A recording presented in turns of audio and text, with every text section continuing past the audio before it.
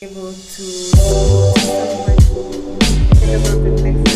everyone, this is Miss Bowen from Pep Practice. We have practice. Pep or you can pay at 51 Duke Street, downtown.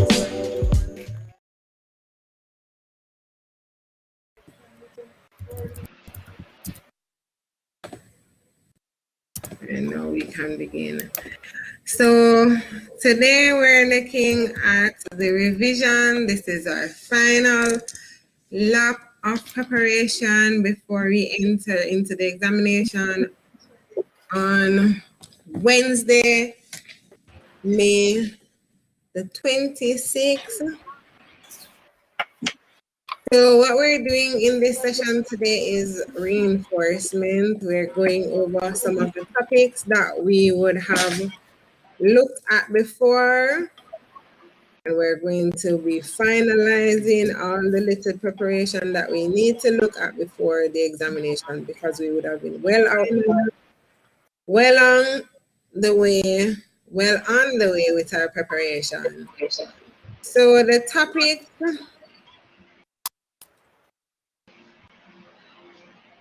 the topics that we're going to be looking at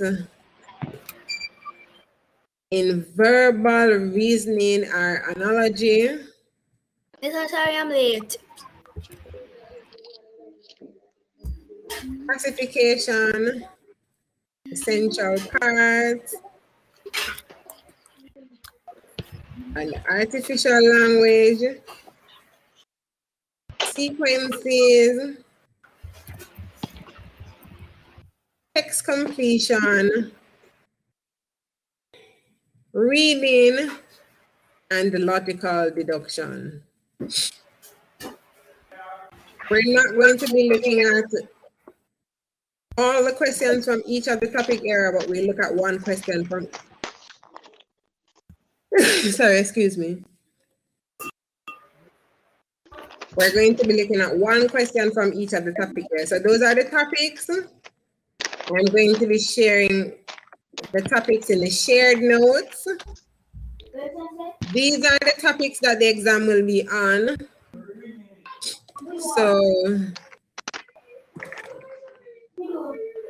sharing that information in the shared notes now. You can download the shared notes as well as you can, can image of it, take a picture of it.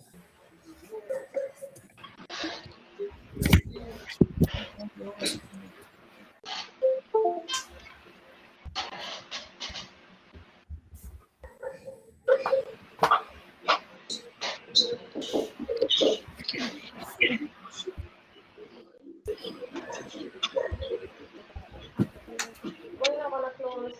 Put do. your button to hurt you. Oh, no, no, no, no. Put it on the chair. Put your button to hurt you. Um, All right, so the verbal reasoning questions.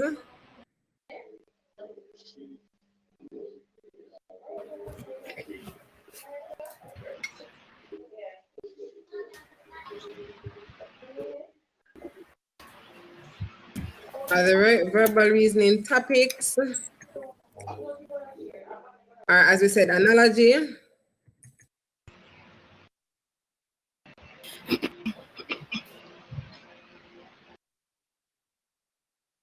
that's what we're going to be looking at first.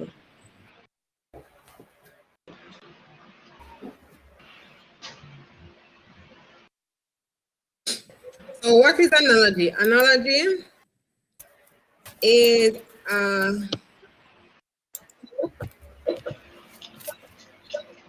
is identifying a relationship.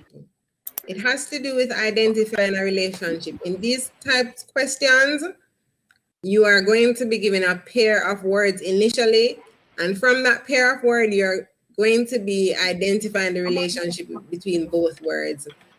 And in order for you to complete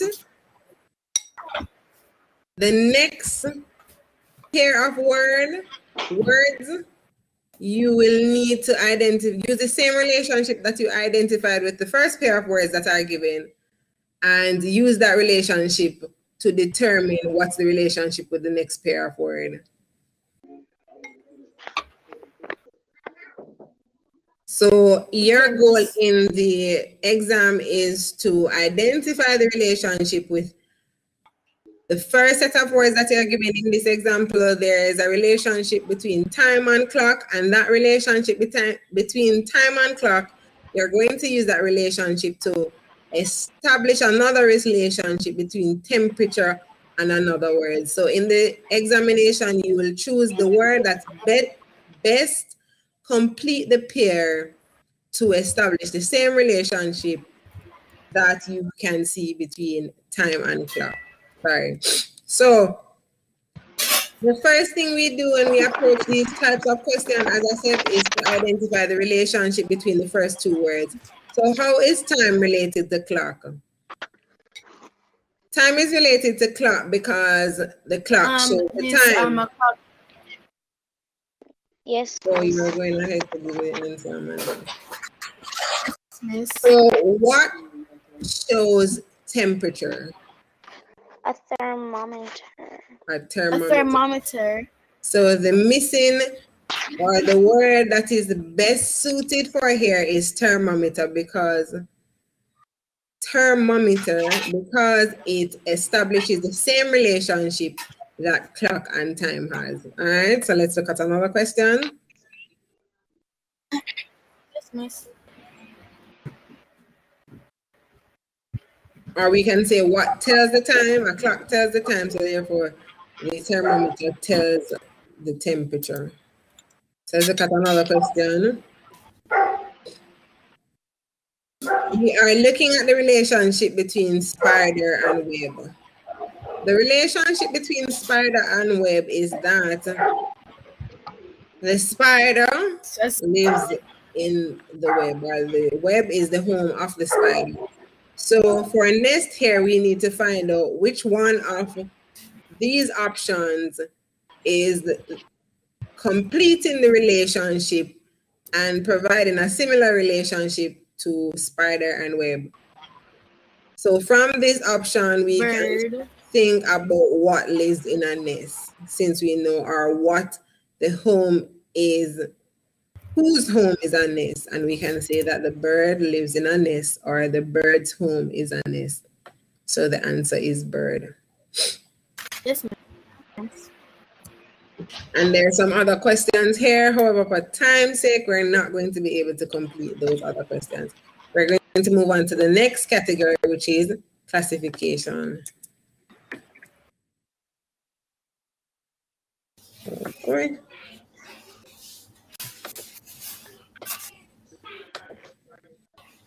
So the next category that you'll be getting in your examination is classification. With these classification questions, you're going to be seeing four words, right? And all of these words are going to be related to one another in some way. However, your goal is to identify the word which is the odd one out or the one that does not fit with the others. To do this, you will have to determine what all the other words have in common and then choose the word that is different. All right. So let's see how all of these words are related. Sneakers, water boot, gloves, and slippers. All of these are related because they're worn on the body, right? Yes, miss. Yes, miss. But which one is more rela- or less related to the others? Gloves. The glove. The The gloves is less related to the others because both, well, not both. Everything you wear on your foot and the Yes. gloves you wear on your hand. Yeah, so the sneakers, the water boots, you don't have to shout. The sneakers, the water boots, and the slippers are all worn on the feet. And the gloves is worn on the hand. So that's the other one out. Let's look at another question. So we have inch, kilogram, centimeter, and yard. Kilogram. Um, kilogram. So All the let's rest hold on. Let's try to find the relationship first between all of them. The relationship between all of these words are that they're used to measure, right? However, the kilogram is least similar to the others because the kilogram is used to measure mass while the others are used to measure length. All right. Yes, miss. Yes, miss. For giving the others, you can utilize the chat instead. I see some of the other students utilizing the chat. Okay, miss. Yes.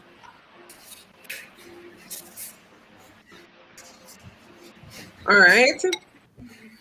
Let's move on to the next question from the next category. As I said, we will, will not be looking at all of these questions in detail because I want to complete all the other categories before this session ends.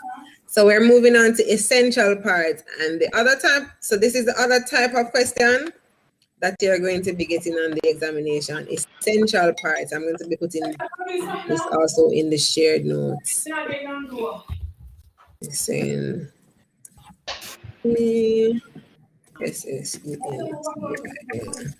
Essential parts. All right. So, in the questions with essential parts, you must identify which part from the given list is an absolute necessity.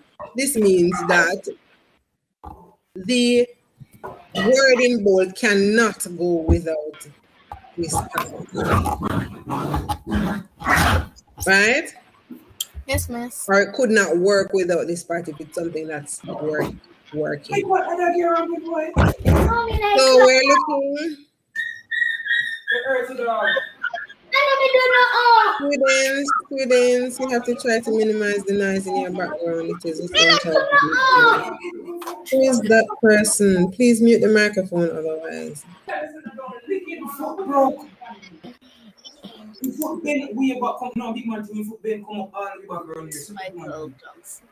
Yes, I'm realizing that I just went out.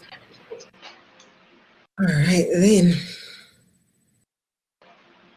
Miss. So let's look at the television. What is an essential part for the television? A screen because you can't watch a television without a screen. We cannot watch a television without a screen. So this television can go without a remote control because we can manually go there and select the channels. We don't have to have cable because we know that you can watch the regular TV station, TVJ, CVM.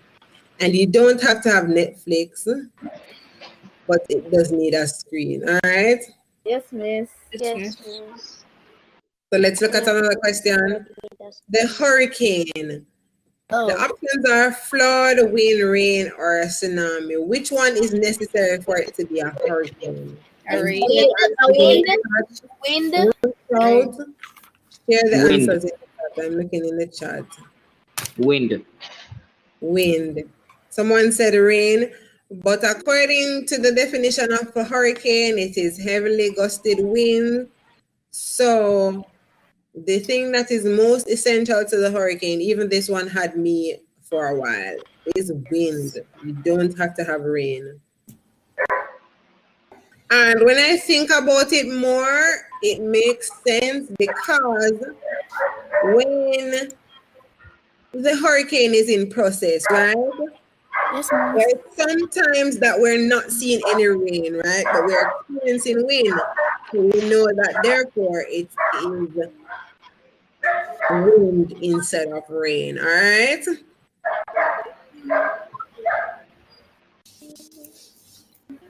All right. So we are going to move on from essential to the other verbal reasoning topic that we will be getting on the examination, and that is artificial language. So when we look at an artificial language type question, you will need to analyze the words based on an invented or made up language and the rules or patterns that are derived to, to identify the words in this made up, made up language, right? So these rules or patterns are going to help you to figure out or translate the word in these made up languages. All right. So let's look at the example. The words in bold come from an artificial language. Examine the meaning of each word and then answer the question that follows. Hyphon slock means fill up.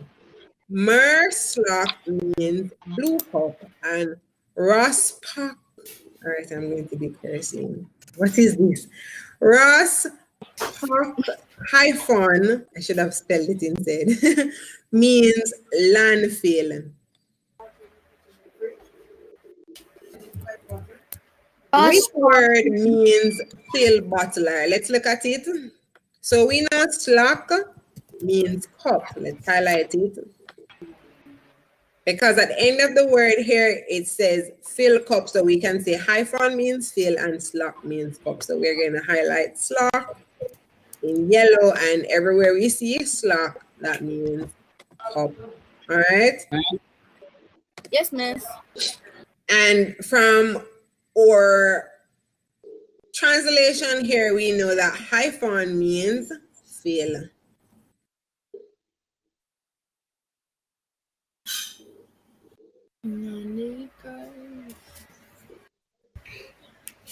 And we can say that Mercs means blue and Raspa means land. So it says which word means fill bottle. So we're looking for something with hyphon since hyphon means fill. And the option we're seeing here is hyphon shimal. So we can assume that shimal is called bottle, but we know that hyphon means fill. So the answer is hyphon shimal. Okay, miss. Yes, It's miss. right here.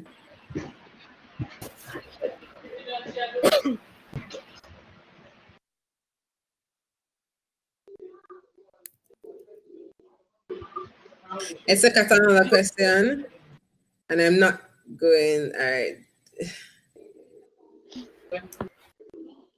Cracking bluff means workforce. So, all right, let's look at the other words before we start highlighting. Dry tack or dry dry tack cracking means ground work. And cracking alti means workplace. So let's see what is work work is cracking. So let's highlight that in a in a color.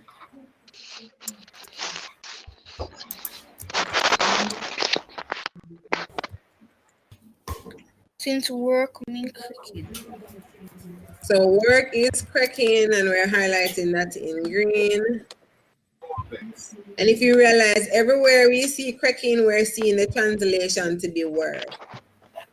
So it's workforce, cracking is at the front, groundwork cracking is at the latter part of the word, and workplace cracking is at the front. So is it safe to say that place is alti? Highlight it in another color. Which word means some place? So we're looking for something with alti. Neuropal. Neuropal. So there's two words or there's three Moral words with alti. So we have alti here, which is a little bit more difficult for us to figure out. And we have alti here.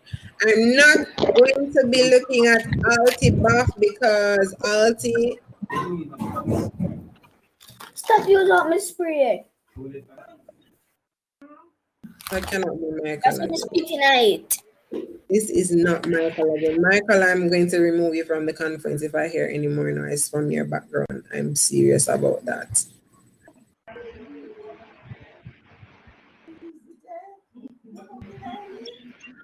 Cannot be that one person is disper- disturbing the entire conference. If I hear another word from your microphone, okay, you've already muted yourself. All right, the problem is already solved.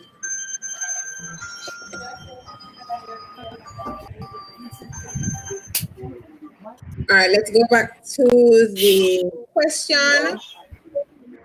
So it says, that alti means place. So in all of these words, we're seeing alti do.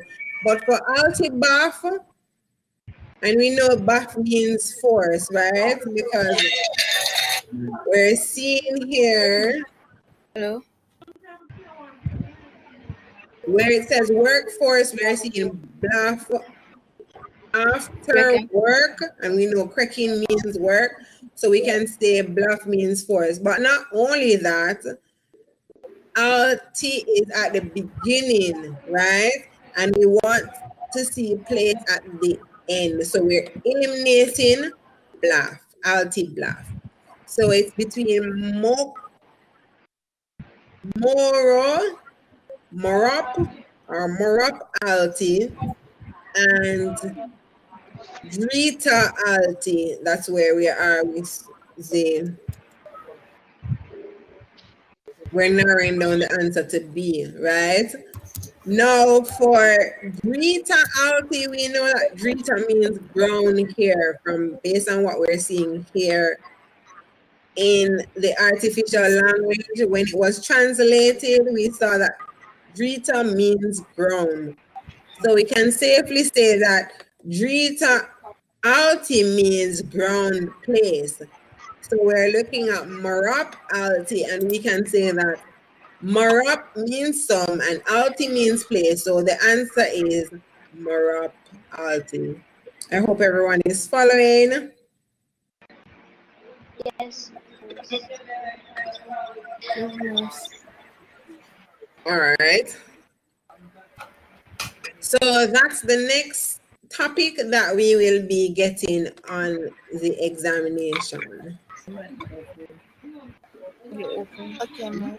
I'm writing that in the shared notes. As I said, you can download the shared notes using the arrow once I'm finished, or you can type it over, or you can take an image. Either way, that is most suited to you. All right, let's let's look at the next type of question, and that's sequencing. So in these sequencing questions, you will need to analyze the pattern, then use that pattern to determine what should be next based on the order that was established. All right. So let's look at the sequence in the example. Which is next in the sequence? So we see CE, F, H, and IK. And usually some of these sequences are based on the alphabet. So we're going to use this alphabet here below to help us to solve this problem. So CE, how did they get from C to E? So C, and we skipped one and we're at E. And let's look at FH. F, and we skip one, which is G to get to H. And then I, K, we skip J to get to K. So we can safely say for the answer,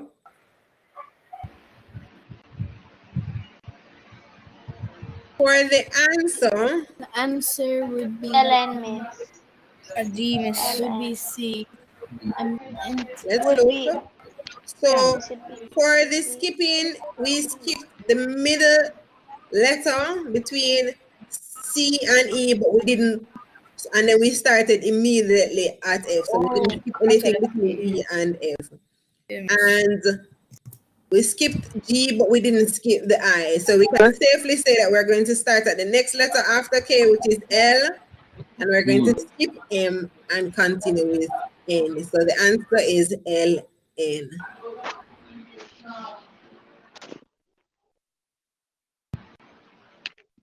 Let's look at this other sequence below. It says, use the alphabet to find the next pair of words, sorry, next pair of letters in the series. So we're using the alphabet once more. Hold on, let me see.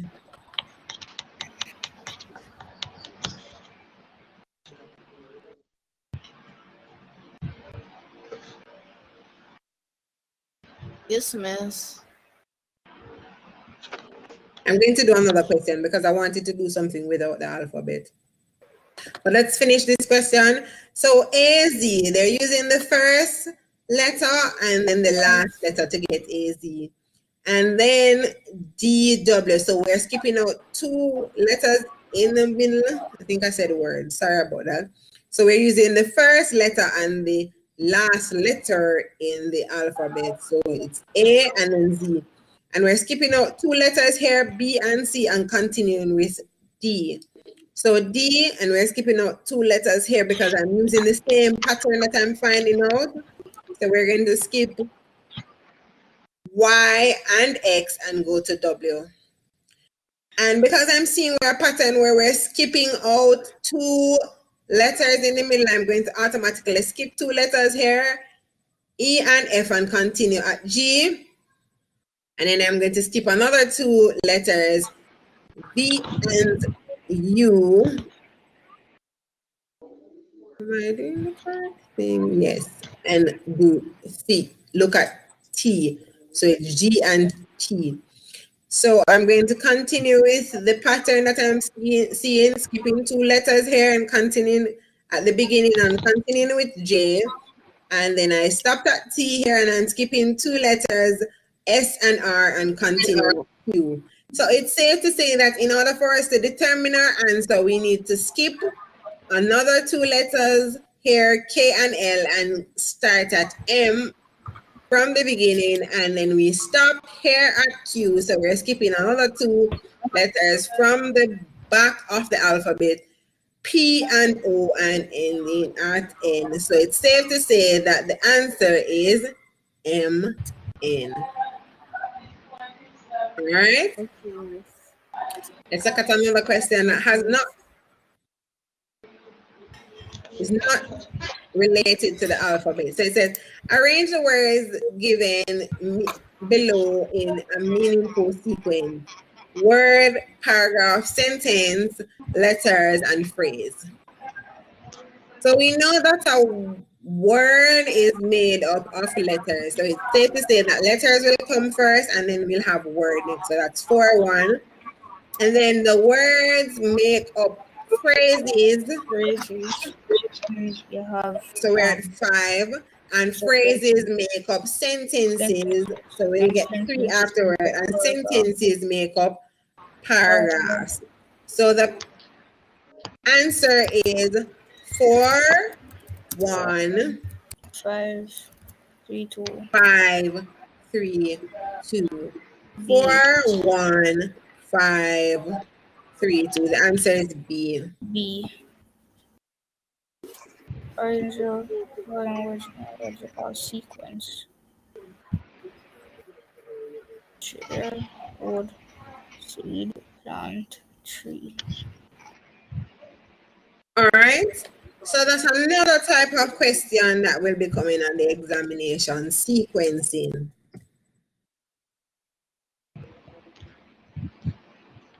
All right. So that's verbal reasoning. The verbal reasoning topics are analogy classification, essential parts, artificial language sequencing, and we have two more type of question. So we're moving on to well, three more text completion. For the text completion type of questions, you're expected to use the context or the context clues to determine the choice of words based on variation in spelling, usage, and meaning. For this example here, we're looking at the variation in spelling. It says after the fire, the cane field was left. So we know that all of these words are pronounced the same way or they're homophones. Yes. However, the one that is most suited is B A R E B A R E. because that's the one that means Nothing is left. This is the mm. one that means leaving something empty. The other is a drink, and the other is The an animal. animal. And B A I R. Can anyone tell me what B A I R is? B, B, Sorry, B B, A I R. not B A I R, B E. Sorry, B I E R. Reading things I'm not seeing. B I E R. Can anyone tell me what B A movable I frame E R? a coffin or a corpse is placed before bur- burial Oh, the Oh, operation thing they put the coffin on. Yes, the frame, the frame that they put Beer. the coffin on, that's the bear. Yes. All right, let's move on to the next question.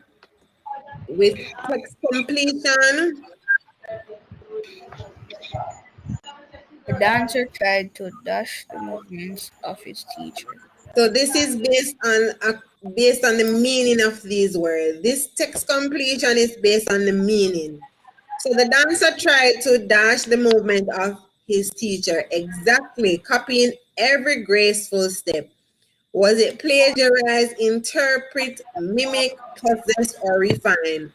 To Mimic. plagiarize, when we're talking about plagiarizing, it's mostly stealing someone's movement. So although you can plagiarize writing, you can also plagiarize dances as well. But the dancer was not trying to steal the or to take the teacher's that movements and call it his or her own. So that's not plagiarizing. Um, he wasn't basically interpreting the moves because he or she was not saying what they mean. So that's what interpreting means. For mimicking, we know that that is to copy or follow someone. So we can safely say that the dancer was trying to mimic the movements of his teacher. But let's look at the others just to rule those out. Sorry. He was not, or she was not trying to possess the movement of the teacher because they weren't taking and embodying those movements and being controlled by the movement. So that's something that that's the meaning of possess. And for the dancer to be refining the movements of the teacher, the dancer would be changing up some of the movements to either make them smoother or flow differently.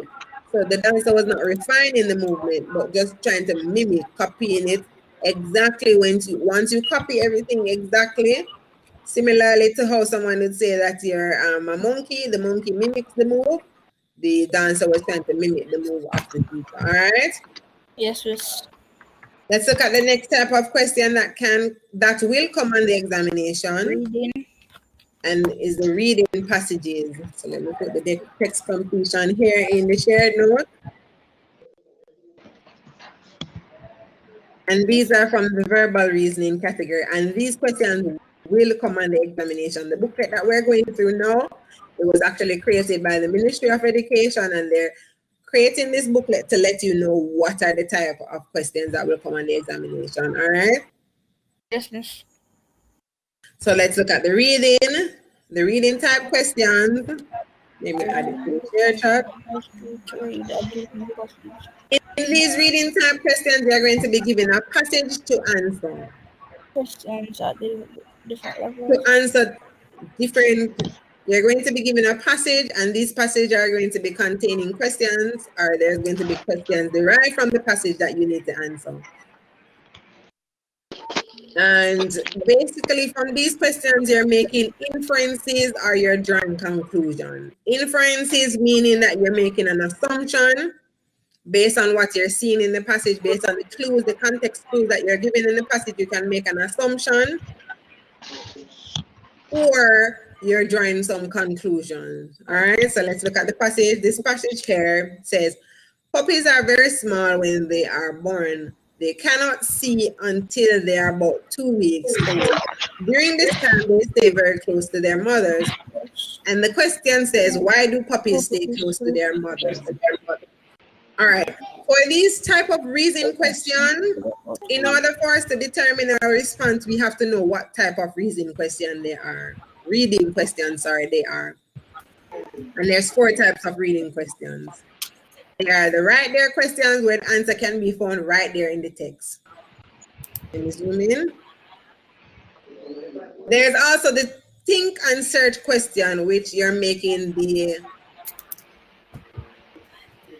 inferences from. So the answer is there in the text, but you may it may not use it may not use the same language that the question uses, and you might have to look in different places to find it. So you have to think very hard and search for it there. You have the author and me questions where the answer is not in the text, but you need to use your use your own background knowledge based on information that you know already and what the author has told you to come up with the answer. And there's the on my own question where the answer is not in the text also, and you will use only your background information that you know to answer the question. So you can answer the question even without reading the text because this question stands alone. All right? Yes, miss. Yes, miss. Fine. Mm. In this question, this is a right there question because the answer is right there in the text. It says clearly that puppies will stay close to their mothers because they cannot see. see. All right, Yes, miss. let's look at another passage. Right. Okay. Logic. There's only an- one other passage. Stefan shouted, Miss, Mistress Ramsey, I've called you three times. You come down this minute or you'll be late for school. Come in, mommy, he answered. And a moment later, he appeared in the doorway. Mrs. Ramsey gasped when she saw him, but Chrissy merely laughed. I was wondering why you were in the bathroom so long, said his mother. But you surprise me how you comb your hair so slick and your shoes uh, shine and you even have on a tie. Devon, you sure you're not sick? I can tell you what it, it's all about, mommy, volunteered Chrissy. He met that new girl, Chantel. He is, and he's all gaga What about about her. I am not. Don't listen to her, mommy. I'm just trying to. She's just trying to tease me like a pesky little sister. Devon glared at Chrissy, hoping that his fierce look would scare her into silence. Haha, you think you can frighten me, huh? And that isn't even all, mommy. Yesterday, he walked her all the way home and carried her books too. When did this story So the question is asking when did the story take place? No, It's this right is not a right there question because it's not clearly saying that the story was taking place in the morning, in the afternoon, or in the evening. However, this is a think and search question because if you look carefully at the passage and search for the answer and think hard So about it, you can figure out the answer. So the context clue that we're looking at here, and I'm going to be highlighting it, is that You will be his mother said that he will be late for Late. school. Now we can assume that if he is going to school, then it's in the morning because we typically go to school in the morning. morning. Morning. Yes. It says which of the following is implied by the passage, and as I said, implied is to make a suggestion or assumption, right? So Yes. what can we assume by reading the passage that Chrissy was Devon's mother? We're not Yeah. assuming that because the passage told us that. No, sorry. Chrissy was not Devon's mother. The mm-hmm. passage told her told us that Chrissy was Devon's sister, Yes, right? Yes, miss. Devon likes Because he said like a pesky little sister. sister. And Devon says Devon like Chantel. This is not also a right there question because it's not saying there clearly that Devon like Chantel, but the way he slicked his hair and shined his shoes and put on a tie, we know that he likes Chrissy because he's going to be fixing up himself to go to Yes, school to yes. meet Chrissy. Miss It said also that he is all gaga about her. Yes. And what it means is that he's feeling um blushy about her, right? Yes, miss. It also says that he brought her Carry her books too. books and walked her all the way home. So we can safely say that he liked her. Yes, miss. Chrissy was afraid of Devon. It clearly said mm-hmm. that she said that he did mm-hmm. not scare her to silence or she she is not frightened Of him. of him. So therefore it shows that she was not scared of him. And it didn't say anything about Chrissy being disabled. So that was just going to be an incorrect assumption altogether. All right. Yes, miss. So the other question now, even though it says question four, it's supposed to say three here. So on these reading questions, students, you normally get about three or two questions, all right? Okay, Not miss. more. So the last question on this passage says, which word could be used to best describe Chrissy? And we have to look at the word best here. Is Chrissy mischievous? Mm, Is she angry? Is she playful or jealous? We can eliminate angry and jealous because it doesn't show that she was either. Yes, miss. But we can narrow it down to mischievous or playful. Some would say she's playful, right? But we can look at mischievous closely. At the meaning of mischievous is that somebody is trying to create a little tension or a problem, right? Get you in trouble. So if it was playful, she would have just been playing with her brother, right?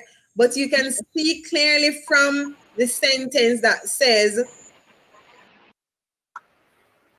that she is teasing him. So Yes, she to Teasing. tease him is doing something mischievous, right? It's not playing. He doesn't find it appealing. He doesn't find it funny, Yes, right? Yes, So he's not having joy by what Chrissy is doing. So it is annoying him, right? So she's being mischievous to him, right? Yes, miss. And it is as though she wants her mother to be alarmed or for him to get in some form of trouble. So she keeps reminding her mother about the things that he's doing. So that is mischievous, all right? Yes, miss. So it's safe to say that the word that best describes Chrissy is mischievous. Mischievous. And the final type of question that will be coming on verbal reasoning is the logical deduction. With these logical deduction questions, students, Are simply a combination of you are going to be seeing a set of information, and your goal is to come to a conclusion. And when we talk about a logical conclusion, logic means it makes sense. So your conclusion must make sense based on the the information that you're given before, right? This is not something easy to do. So in order for you to make a correct this deductions, you need to take your time and be patient. And sometimes you have to read over the statements more than once so you can see what is taking place. You can also put yourself in the situation if it's a case where it is possible for you to put yourself in the situation. All right. yes, miss.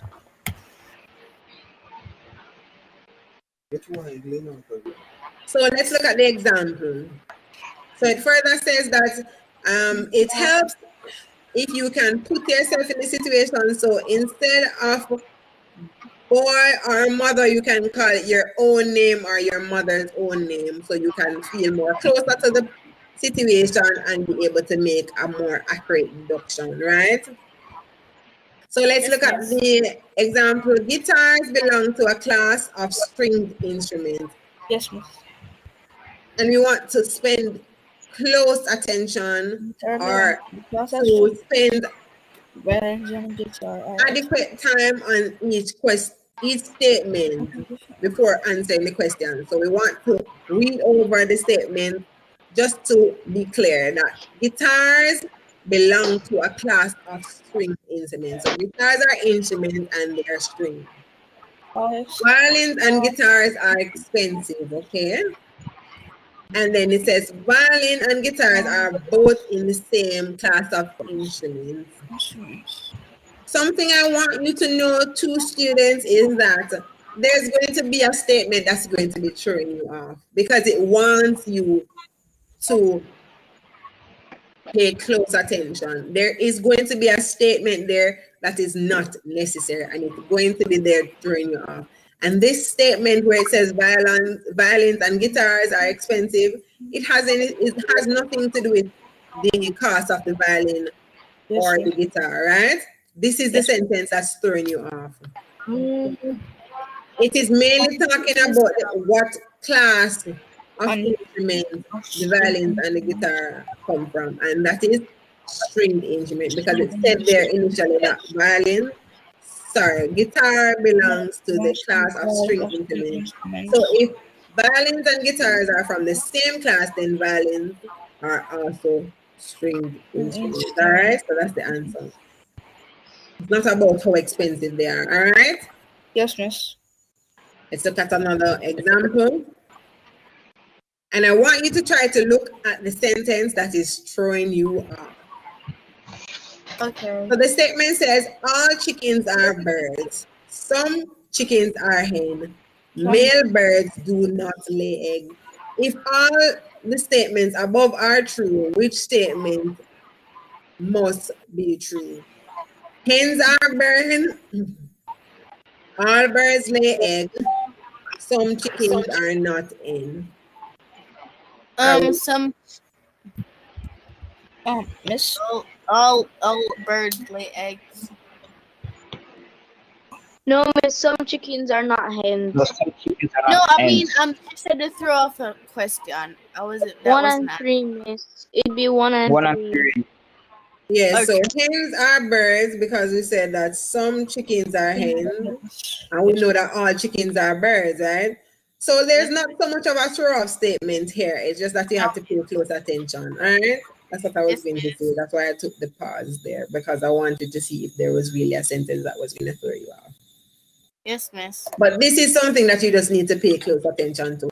So, firstly, it says all chickens are birds, right?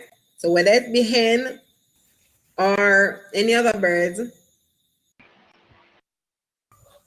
Yeah. sorry, whether it be hen or rooster, there all of the chickens are birds, right? Yes, miss. So we know this statement must be true because if a hen is a chicken, it is a bird, right? And it Yes. says some chickens are hen, and then says that male birds do not lay egg. We can safely say that there's a difference between the hen and the male bird because they would have said hens do not lay egg. So they're talking about a different type of bird, which is not the hen, right? Yes, miss. So it says all birds lay egg. Miss. Um, male birds does not lay eggs. But it does say up here that male birds do not lay eggs, so this cannot be true. Yes, miss. And it says some chicken are not hens. And we can safely say that some chicken are not hens because, as I said, it would mention again here that male birds do not lay egg, yes. right? It would have just said hens don't lay egg, right? So we can say that some are hen and some are not hen. And it says here that some chickens are not hen. So if some are hens, then some must be something else, right? Yes, miss. Yes, miss. So we can safely say the answer is hens are birds and some chickens are not. Are not hens. One and three is the answer. Yes, miss. And we're not going to look at the other type of question because I'm going to move on to the quantitative reasoning portion. Why is it finished? I can upload the next booklet. Booklet two. So those are the types of questions. Let me put logical reasoning here, logical or logical deduction. So those are the types of questions that will be coming from the verbal reasoning category. All right. Yes, miss. There's another type of question or another type of topic called the quantitative reasoning. So if you notice, student, this one was mainly dealing with language arts, right? Yes, miss. So these are the language arts type of question, which are sorry from verbal reasoning. Now we're looking at the mathematics type questions, which are quantitative, one, T, quantitative, quantitative reasoning. Me a second, I'm bringing up the next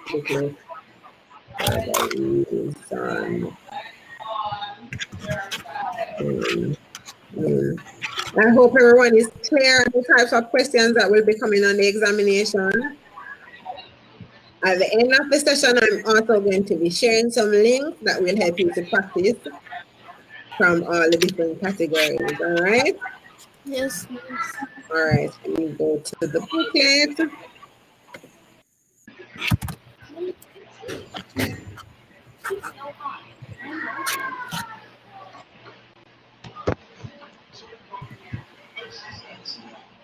I should have it somewhere here in my history. Yeah. All right. So the different categories from the quantitative reasoning questions are patterns representing quantities, comparing quantities, uh-huh. and we're comparing and representing quantities using tables and graphs and approximation, ex estimation, which is basically rounding off, and data analysis, which is also using tables and graphs. You can either compare quantities, you can also compare quantities using fractions and decimals or ratios. And you have problem solving, which are the general worded problems, all right? So let's look at the quantitative reasoning type questions.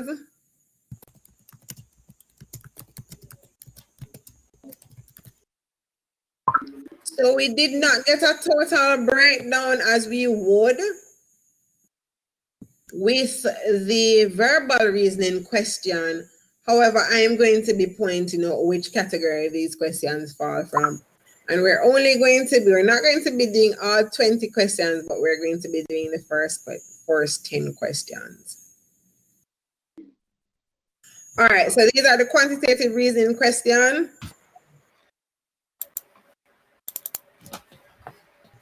It says, which is the odd word below? So we're hmm? looking at mean, mode, multiple, and median. We know that mean, mode, and median are all arithmetic means, right? They're dealing with statistic. Multiple is separate and apart from these words because it is not dealing with statistic, and that word is the odd one out. It is a bit similar to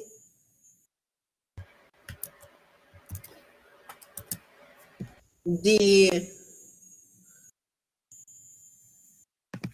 four.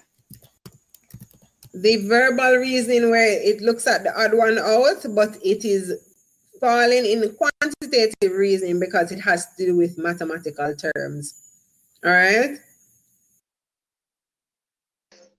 Let me share the different topics first before. Let me share these topics in the, if you want to, you can go ahead and take a picture of it from the screen. Also, I'm going to be writing it in the shared note. You can download it. Pattern representing quantities, presenting quantities, comparing quantities, comparing quantities, approximation,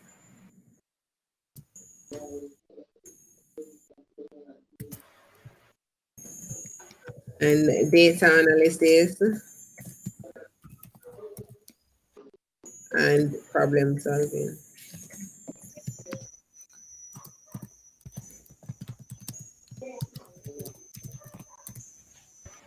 All right, let's go back to the questions.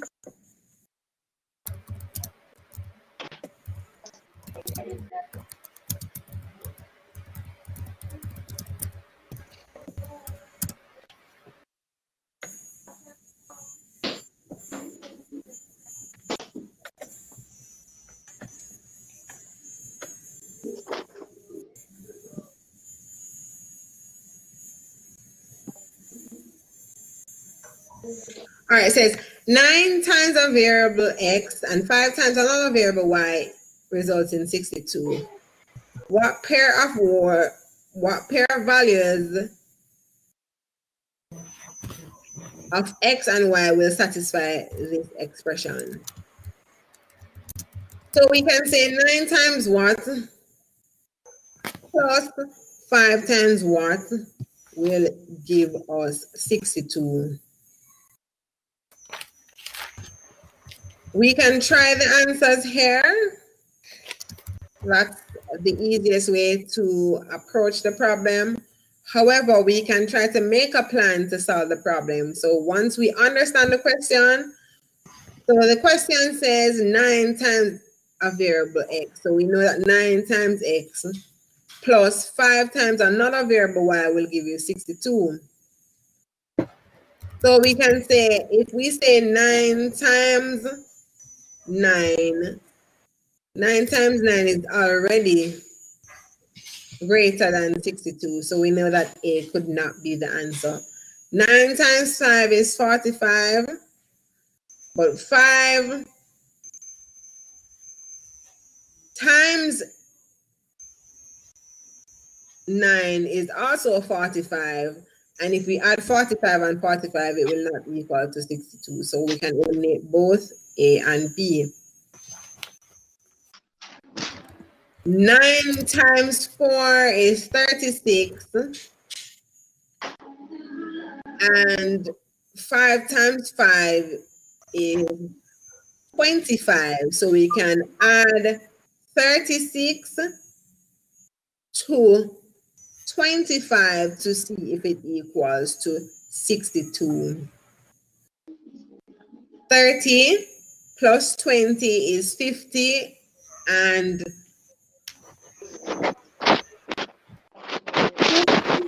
plus 5 is 11. So that will be 61 instead of 62.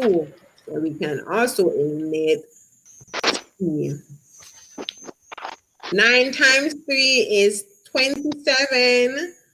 And 7 times 5 is 35. And 27 plus 35 equals 62. So D is the Yes, correct answer.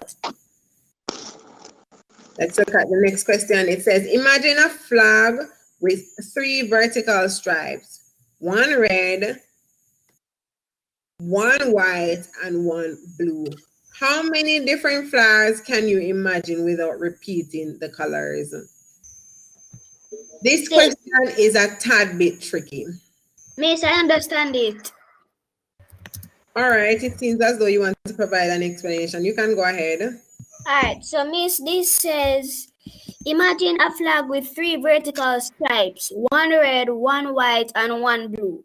Okay, so first thing you're going to do, you're going to write down um how many um or how many colors you can get. So you can get um you have red, white, and blue. You have So that's one flag. So you can have one flag with three colors, right? yes, miss. You have red, blue, and white. Then you're going to have blue, red, and white. Then you're going to have blue, Hold on a second, Michael. Aren't you repeating the colors? huh? Aren't you repeating the colors? repeating the colors. No, miss, because the last time I went on YouTube, this is the same way the teacher taught. Mm, so I'm repeating the. No, miss, I'm not repeating the colors. You're switching up the colors in different places. Yes, miss. Okay. And Fair then you have white, blue, and red, and white, red, and blue. When you count up all of the Hold on a colors, second, Michael. I'm going to allow you to write it on the screen, okay? right, All right, go ahead and write on the screen, Michael. You should be able to write on the screen now. So the first thing you're going to have is red I'll get off the screen. and red, white, and blue. All right, so that's one flag. Yes. Then you can also have red, blue, red, blue, and white. Yes. And then you can also have blue, red, and white. So that's three flags thus far. Yes. Then blue, white, then red. Okay, four flags. Then white, blue, then red. Then white, red, then blue. That's our solid code. Fair enough. Does anybody have any other explanation? So that would have been six. That's your answer, Michael? Yes, miss. All right, fair enough. Does anyone have any other explanation? No, miss. I worked it out first, but then it was the explanation that you did before. Repeat. Then you, so miss, first I did it the way Michael did it, but then you explained it a different way. All right, go ahead. Okay, would you like to share that explanation? Um, sure, miss. I'm gonna clear the screen. You can write on the screen. Just write it below what Michael wrote or above. Don't erase what he has. Well, I have the ability to do that. Michael, do not erase what you have. All right, go ahead.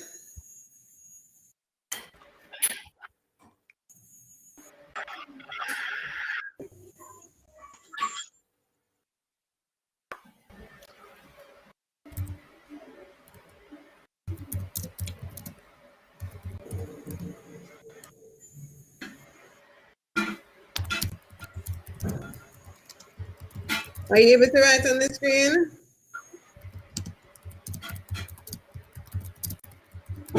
Miss, Yeah.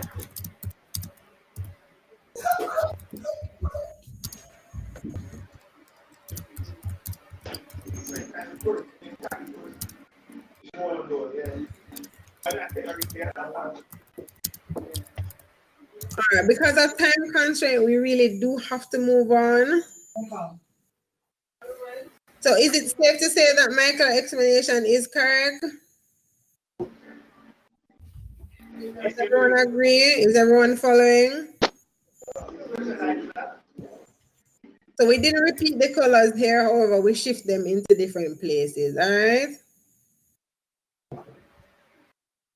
Red, white, blue, red, blue, white, blue, red, white, blue, white, red, white, blue, red, white, red, blue. Okay, fair enough. Yes. All right. So it's safe to say that we have six different colors are six, six different flags. Let's go back to the document that we were working.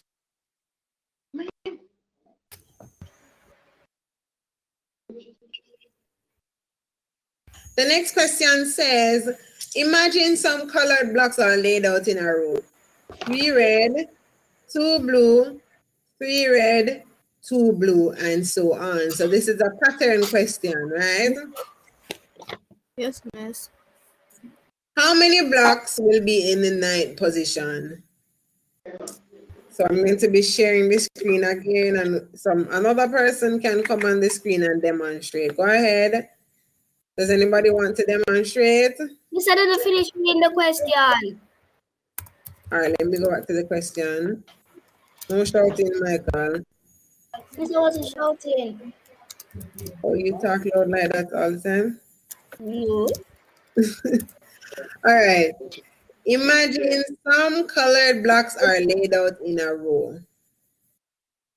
Three red, two blue, three blue. Sorry, why am I reading what I'm not seeing?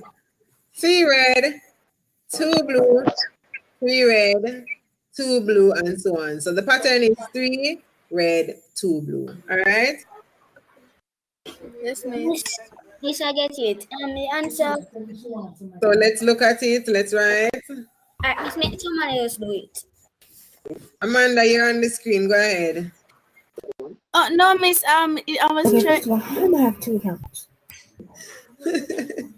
Miss, I wasn't I wasn't tasting anything. I know that's fine. I'm, I'm just joking because you, you Miss, I would do it. go ahead, Marco. It, it would be nice if you use the different colors, Marco. Miss, so they say three red at first, Yes, go ahead with the three red. Yes. Two two blue. wait, Try another color. Use the blue, Marco. Use the blue. Change the color from red to blue. change it. Oh wait, yes I can. Yes, you can. No, for the next word. Oh, everything is gonna be changed. All right, fair, fair enough. That's fine. Okay, Miss. Go ahead with the same color. Two red, two blue, Yes. three red, two blue, three red, So this is the first blue. place. This is the second place.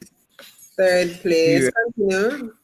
I'm not seeing it. We're not mm. seeing it, Marco. We're not seeing it because you need to extend the bar a little bit longer. oh, Start with a bigger. Start with a longer bar. Start it like this. So when you're writing, start it from over here to the end. All right, so you can see everything holding. Are you seeing what I'm doing on the screen, Marco? yes, Miss. Yeah, so do it like that. All right, great. Yeah, so you can write it. Eight. You say eight or nine? Nine. So that's one, two, three. Put it in a row, Mark. I want it in a row. Okay, you finished?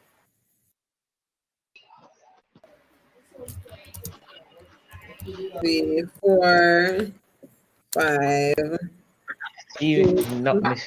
The red, blue, red, blue, red. Eight, nine. So what is in the nine place is a three, right? Is everyone seeing that? Yes, miss. Yes. So the answer is three red.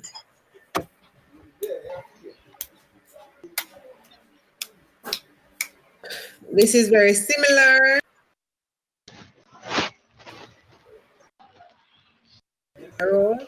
Three red, two blue, three red, two blue, and so on. If there are 65 colored blocks, how many would be red?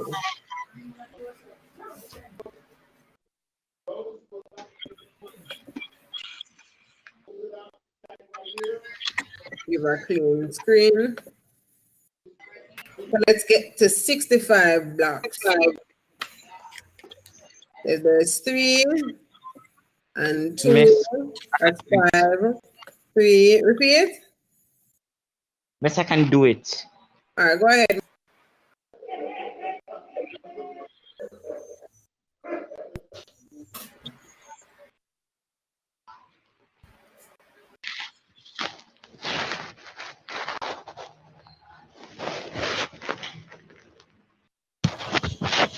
Miss, so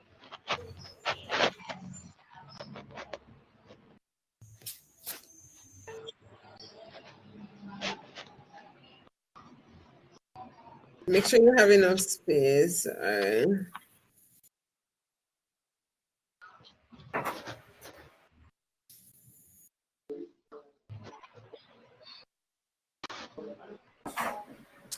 So, so far we have three plus three, six plus three, 12 plus. Miss, you two plus add them up, yeah. they add up to five, Miss. Repeat. Oh, you're adding the fives first to get it to 65. All right, fair enough. Go ahead, Martha.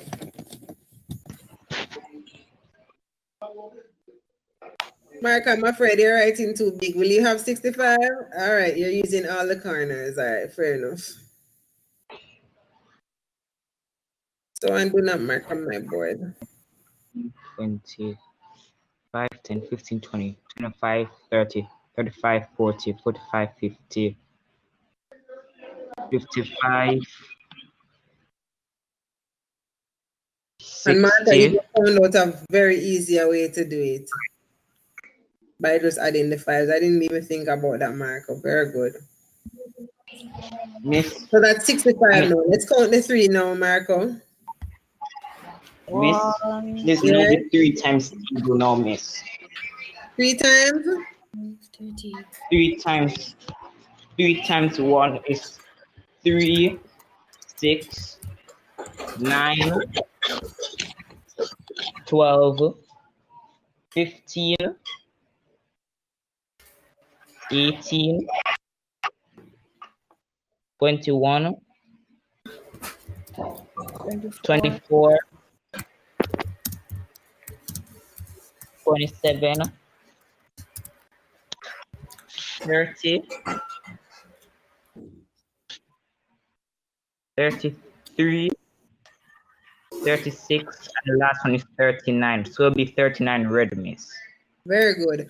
Also, Marco, because you showed me an easier way to do the fives, if I think about it, I could count it and say if there's one, two, three, four, five, six, seven, eight, nine, 10, 11, 12, 13, I could just multiply 13 times 3 and I will get 39. Is everyone following? Mr. Because I was thinking now that I was going to the as Marco finish. All right. Sorry about that. man. My God. Yes, so that's the correct answer is 39. All right. Yes, Let's miss. move on to number six. It says likely is to probability as unknown is to. And we still see the analogy questions coming out here. However, it is Miss, um, Miss, I, quantitative reasoning. Hold on a second, Mar- Michael. You can go ahead once I finish the explanation. However, it's quantitative reasoning because all of these words are mathematical. All right, go ahead now, Michael. all right, so Miss, this likely is the probability. Proba- probability means, um, all right, so just like you have two red, one blue, and three white. Probability of having to pick white, um, so you have to add up every single thing, and then you'll get, um, you'll get six. So out of six, it would be three out of six to find white. So no, that means likely. So that means you find so unknown means algebra because you're trying to find the unknown. So I pick algebra D. Yes, Good. very good, Michael. Very on point explanation. So when you're talking about probability, you're talking about the likelihood of choosing something, right? Or the likelihood of something happening.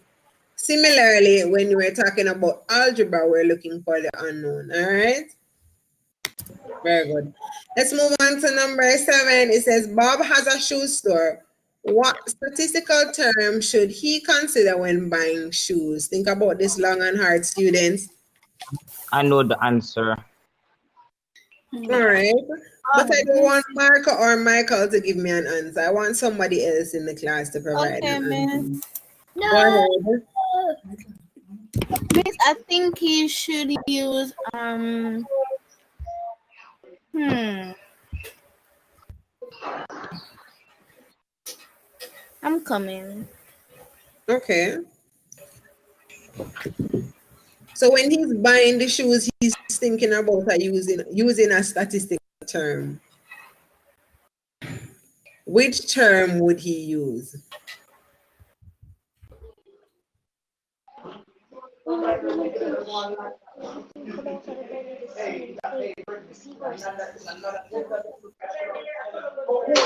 you ready, Amanda? Coming, miss.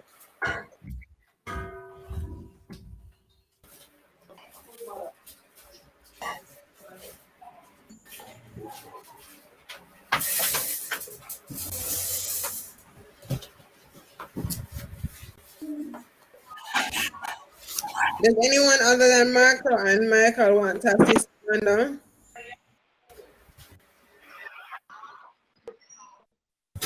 Okay, I'm seeing some answers in the chat. Zoran, you said mode. Why is it the mode? Unmute the microphone and try to provide an explanation. Why is it mode, Zoran? No. Zoran? Um. Or Amanda, Zoran said mode. Can you explain why Zoran would say mode? Uh, Miss Mode is um because um it's What- um what is um mode? Miss Mode is um when a number occurs the most in a sequence. Yes. Um, well, maybe would use that for the clothes which comes most. No, clothes or shoes shoes. Comes most. Yes. Yes. Why would the shoe store, the person who, why would Bob want to use the mode by the I mean- shoes that is being occurring most? I, I know why he said pick mode because it's a mode. It means the most popular. And normally people would buy the most popular shoes in town, um, in the place. So I pick mode. Yes. So Miss- Bob is looking at the mode when he's buying the shoes because he wants to buy the shoes that will the shoes that is selling most, right? And if he was supposed to do a survey on the shoes that sell or the shoes that sold the most, he would consider the mode. Is everyone following? Yes, miss. Yes, miss. All right, let's move on to number eight. It says Sam scores the following on five of his mathematics tests 95, 80, 90, 70, sorry, 90, 90, and 70. His score on the six mathematics test was 95. Which of the following will Miss, can I not answer? change? Go Miss ahead. Anders- Miss um Miss- the median will not change. Why will the median not change? Miss because um me um Miss um Miss median means Miss median means um the one is in the middle. Yes. Or, yes, and the others uh, you have to do something to get the answer. All right, But- fair enough. But Amanda, I want to ask you now though. If you have five numbers, we know that 90 is in the middle, right? Yes, Miss. Because we have 95 and 80 on one side and 90 and 70 on the other side. If you add another number, will 90 still be in the middle? No, miss. No, It has miss, no, miss, nineties it in the middle. Um, You have to add I All at once, I don't like the shouting so much. People are Miss, you would have to at add the numbers and then divide it by the um By- divided by the number um the amount of no, no Numbers amount that of- is there. yeah Could I please? uh, Add and So divide by two. be Adding 90 plus 90 and dividing it by 2. The number is 2. So because there's two of them, 90 and 90, we're dividing it by 2. So when we add 90 plus 90 is 180. And when we divide 180 by 2, we still get back 90. So the median will not change. Fair enough? yes miss Yes, ma'am. The mode will change because we know we'll have 95 and 90 being the most occurring, and the mean will change because when we add them all up and divide them by the total amount of number, it will change the mean. And we said that multiple is just there as a distraction, honestly. Excuse me, miss. Yes. Um, when you have two, when you have a mode and you add another number and you have the same amount for the most, wouldn't the bigger number be the mode? Because it's like in this in this situation, there's two nineties and two ninety fives. Wouldn't ninety five be the most more mode because it's the most? No. Mode is not about the most, the higher number, it's the most occurring number. So both of them would be the mode. 95 would be the mode, and also 90 would be the mode because both of them are occurring the same amount of times. All right. Okay, miss. miss All right. For number nine, this is a pattern question or a sequence Yes. question. It says, which number best completes the sequence below? 36 All right. Why is 36 going to be the number that will complete the sequence? okay miss so yeah i have 181 so miss you are going to take um 81 from 100 and then you're going to get Hold on a second, Amanda. I want you to look back at the sequence and identify the pattern. excuse me miss What is the pattern that is taking place? Miss, they were taking Hold away. No 19. shouting. I do not want shouting. They're taking away 19. Are we taking away 19? Yes, miss. No, 19, ni- ni- 19 miss. Miss the pattern Miss, is could I, could I please say, Miss? Hold on a second. Too many, too many persons are speaking, and as a result, I cannot listen to anyone. Miss. Miss Ma- Saniki, you are saying something? Yes, Miss. Um, Go ahead, Saniki. they are square numbers. Thank you very much, Saniki. The pattern that I'm seeing, I'm not sure if there's another pattern there. I'm going to be exploring what Amanda was saying shortly. But what I can see vividly, because these are squared numbers. Plus 10 So- is a hundred. So the square root, sorry, the square root of 100 is 10, or Saniki was saying 10 squared is 100.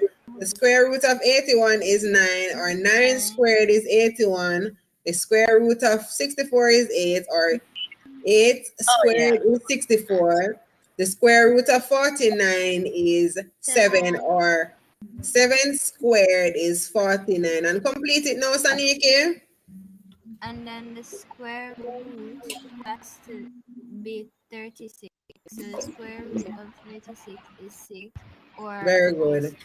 So the next squared number, because we're seeing the squared being counting numbers from 10, 9, 8, 7, we can assume that the next squared number is going to be the square of 6. So we can say 36 because 36 is a square number for 6.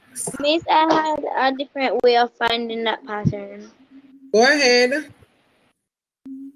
This first 181, it takes away 19, and then it takes away 17, it takes away 15, and then finally it takes away 13. So it- Yes, that, I think that's what Amanda was saying. That's what you were saying, Yeah, Amanda? well, yes, Miss, I was trying to say that.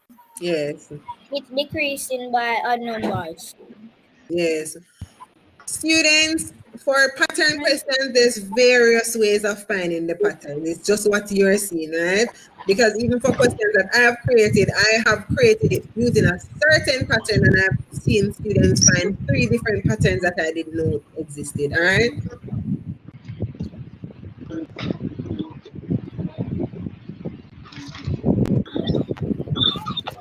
All right, let's look at number 10, the final question.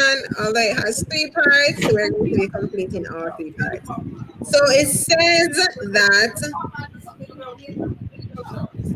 I am, excuse me, please. I have heard what you're saying. I know exactly what you're saying. I do. All right, Miss. Are we on the next question? All right. That means A would be true.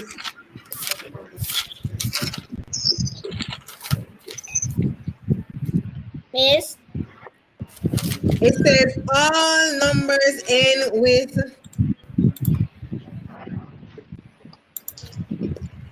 Sorry about that. is students. one, three, It says five. all numbers, all odd numbers end with either one, three, five, seven, or nine. Okay, Miss. Miss, are you That is asking us true. specific, somebody in specific or just asking the whole? You're um,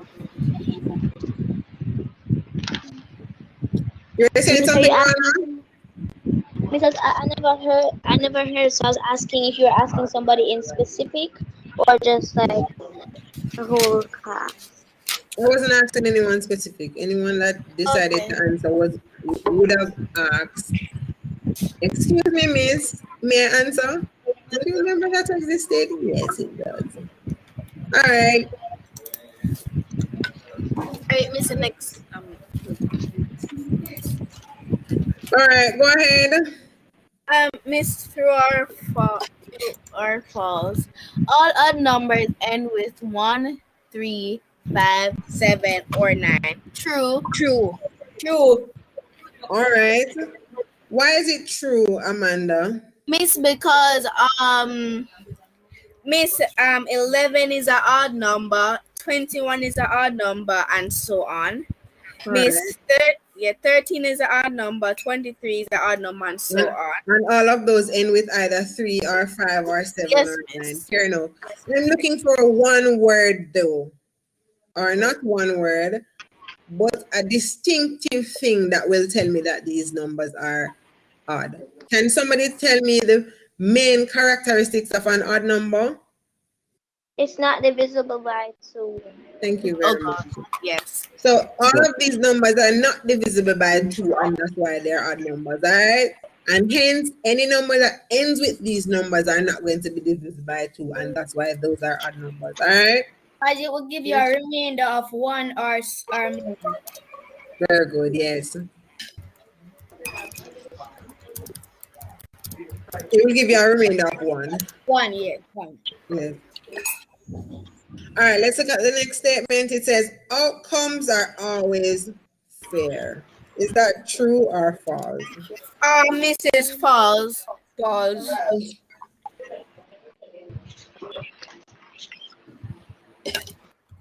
All right.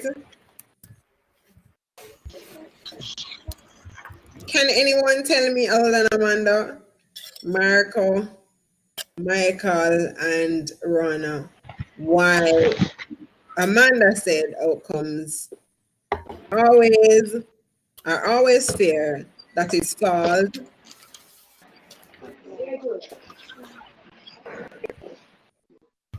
Carl, you have to go ahead. On to probability, probability. Because outcomes would be the denominators are what like what likely it would become. But um, outcomes will not always be Michael, Michael, don't start your own class in my class. All right, go ahead, um, Marco. Since no other student wants to try, and we really need to wrap up the session. Go ahead, Marco. Outcomes not always fair because a kid can study first test and when they do the test he can fail. Okay, fair enough. Um, and that's unfortunate, right? Yes, Very miss. unfortunate. Yes, very unfortunate. Thank you very much, Amanda. All right, Amanda, why did you say it was not fair? Uh, Miss, because um, Miss. Oh, yeah. why did I say it was unfair? All right. This I heard what it said, but I just don't know to put it up in my own words. Rana, in our private class, you gave an answer. Do you want to go ahead? Yes, miss. Okay. Um, outcomes are not always fair because in life there's an outcome to everything, and it's not always just or right. So outcomes are not always fair. All right, fair enough. Everyone provided an reasonable explanation. Yeah, so we can say that is not a true statement. All right. Not every outcome is fair.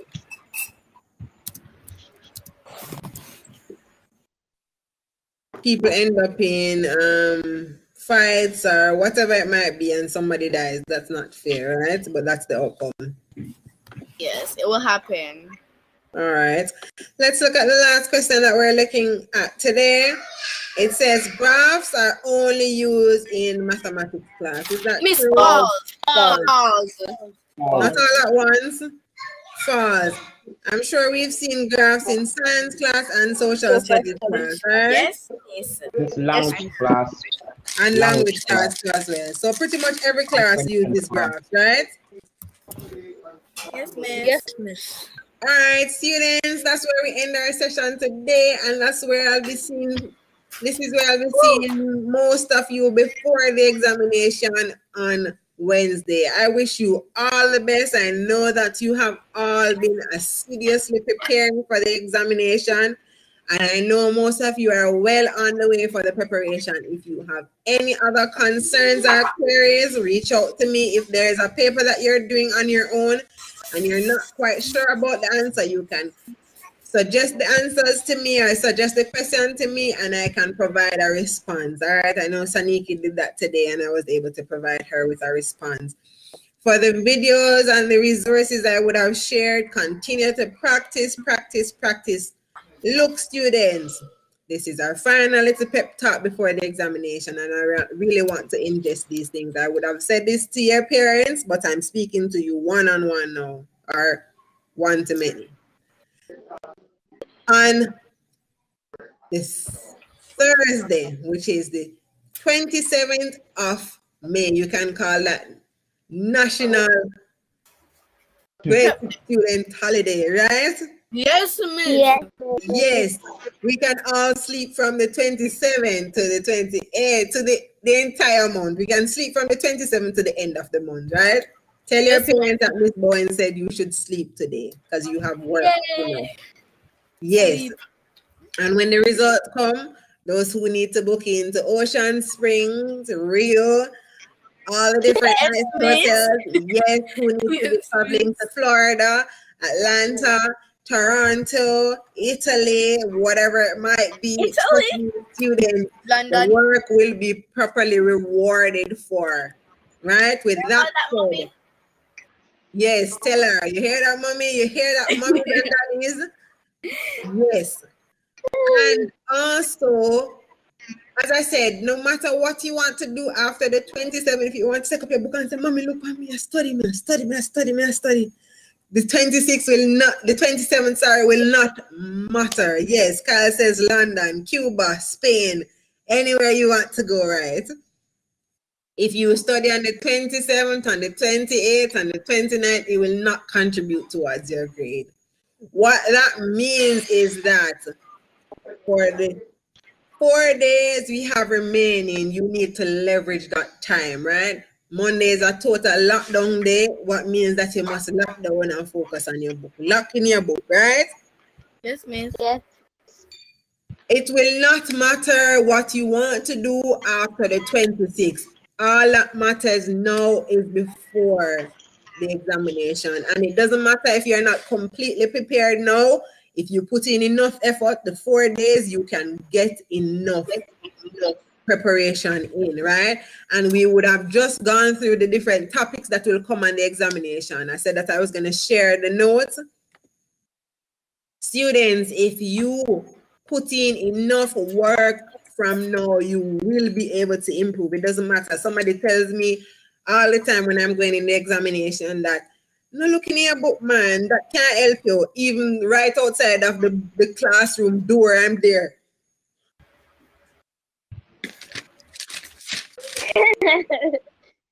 Yes, it will help. Two minutes before the class, it will help. As you're going there, write it down on the paper. Yes, this is what I just taken. This is what I just remembered, right? And you write it down there. Time. Right? So, any preparation before the examination is okay. After the examination, it will not matter. Put in all the effort, students. Exhaust yourself. Trust me, it is not the, the most desired thing to be under pressure. But if you learn to tolerate pressure from now, when you go into the work world, you will survive because you have to meet deadlines and you have to be under pressure.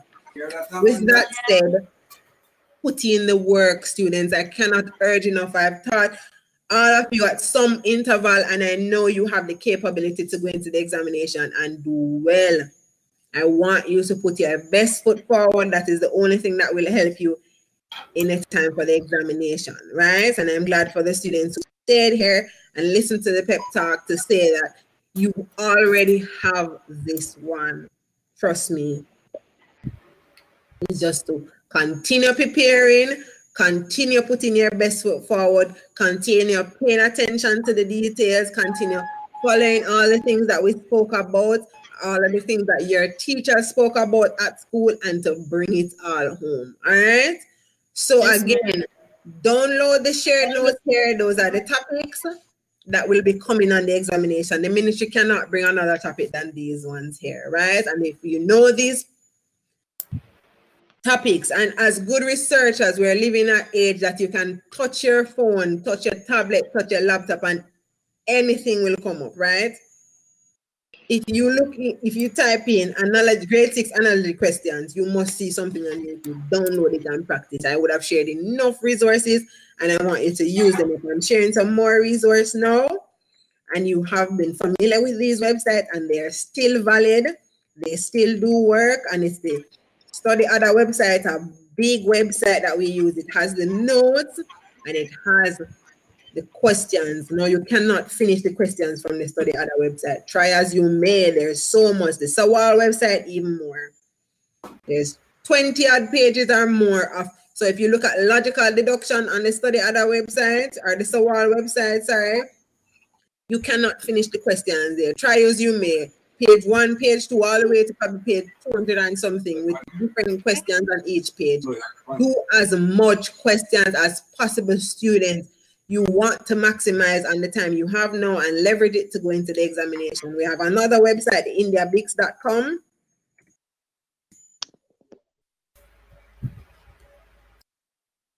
That's also a website that you can use. Those three websites are full of mental ability questions.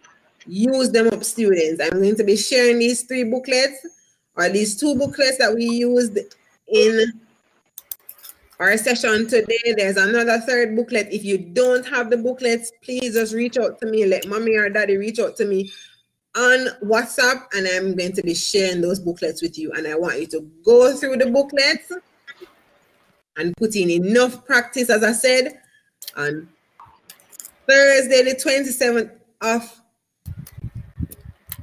May is National Grade 6 holiday, grade 6 students holiday. So you can take the time and rest. Tell your parents, I said you should sleep the whole day.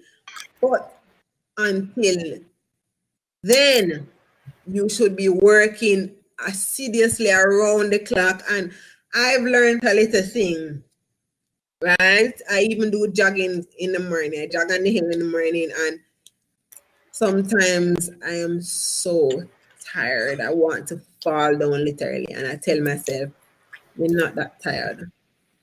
Continue going." And I continue going, and I jog and I jog, and when I look, I reach home, jog all the way home. Yes, and even something that I do when I'm preparing the booklets that you use or the tests or anything. Even now, I'm kind of tired. I've been in classes from 10 o'clock. You know what I'm going to do? I'm going to trick my brain. Yes, and tell my brain I'm not that tired because I have Rana, Amanda, and Marcus paper to mark and give them the results by tonight, right? Okay. I'm going to trick myself. Yes, and mark the papers and send them to you. Look and see if you're not going to get the results tonight. So you control yourself, and even if you're you feeling a little bit tired, just tell yourself you're not really that tired. And you will see how much hours you're working after, and you wonder, was it me that said I was tired three hours ago? You're not really that tired, and you sleep every night. So what if you sleep? what if you really spend a little bit more time tonight and practice, right?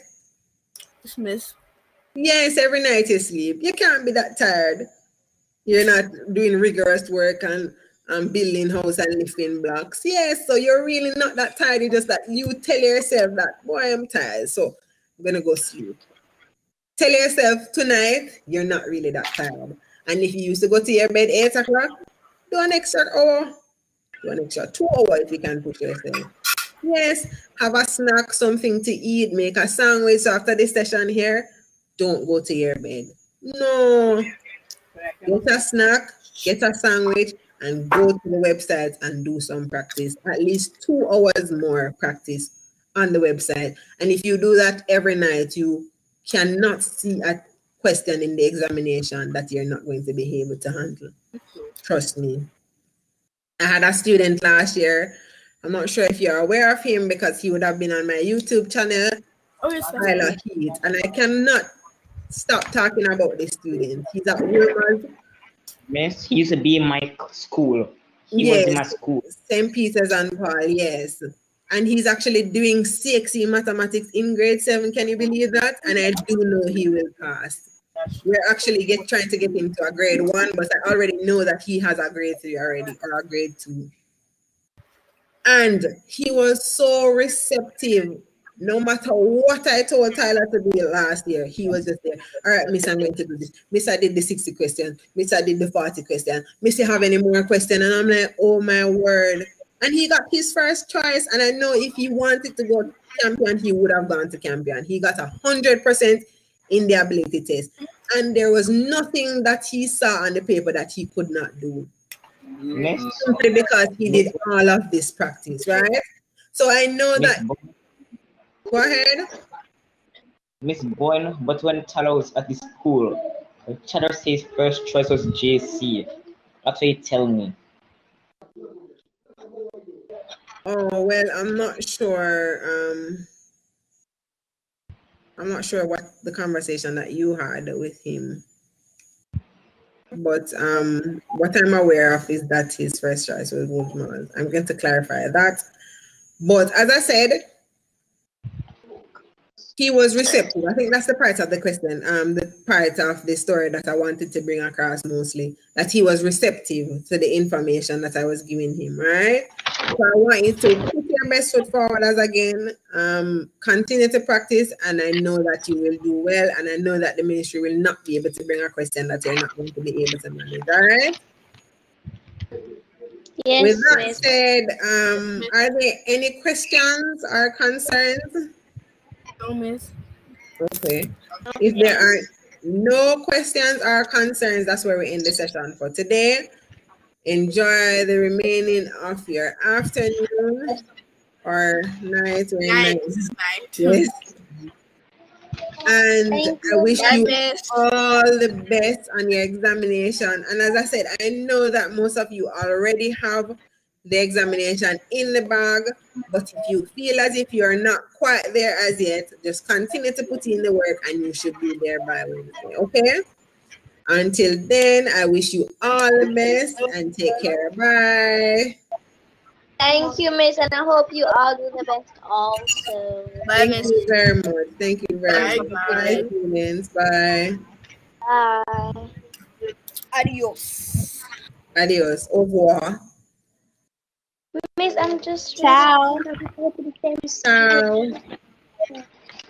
Miss, I'm just realizing that me and Marco go to the same school, and I knew his name, you know, Miss. I'm like, oh my God, how am I just realizing this? Well, every day you learn something new. So consider that something new you learned today. All right. Okay, thank you, Miss. All right. Then bye. Take care. Bye, Miss. Adios. Enjoy You buena, weekend. And Adios. you buena. Buena. What's the, what language is that? Spanish, miss. It's still Spanish for what? All right.